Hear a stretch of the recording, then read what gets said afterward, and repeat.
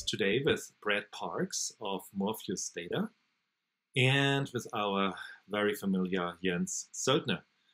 Today we are talking about uh, making the application release process less painful for the operators, right? A lot of the operators they are not happy. They're stressed when the code gets thrown over the fence, and it's like a whole disconnected universe. And there's uh, no centralized automation.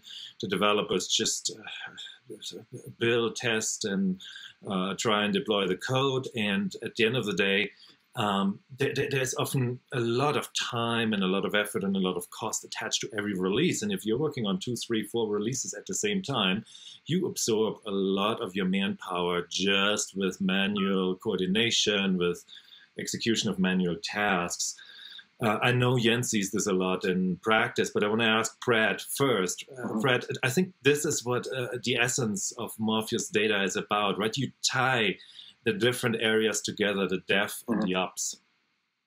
Yeah, when I met you for the first time, it was at the DevOps show, and right. I think even though there's a whole active community talking about DevOps, you know, Dev and Ops are still further apart than they are together for most large enterprises, yeah. and a lot of that has to do with the kind of the tooling, the skill set, the background of the people that are in those those functions. You've got tools designed for you know developers that are very script heavy, programmatic, and ops guys that aren't you know viewing in that that methodology. You also have self-service tools that might be more ops-centric, that don't provide the development teams the ability to to move fast, to bring their own tools, to not be forced into a, a small small box. And so we try and really help bridge that gap by uh, by bringing it together um, with self-service that's designed to give everybody the feeling that they've won. Right, the ops guys get control, very granular role-based access, integration into all their security controls, their load balancers, all their infrastructure. And the devs get native, you know, ability to do what they need in Python, set up CI/CD pipelines, you know, work with their tools without having to to change what they do. Yeah, and it's crazy. We've been talking about this for how many years? Ten years at least. The self-service between developers and ops, and uh, you, you don't see it in practice, right? There's still that same old problem.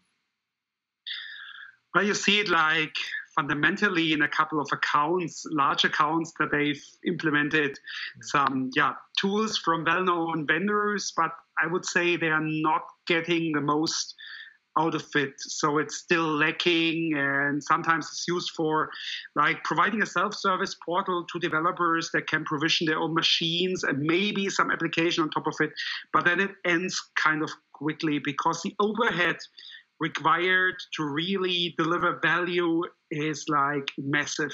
Mm. And I think and there's an issue and maybe also an opportunity for maybe more innovative competitors. Yeah, Brad, and then there's the, the data layer. Jens was just mentioning that, right? There is uh, data locality rules, especially where, where he is in, in Europe, but also in, in North America and Asia.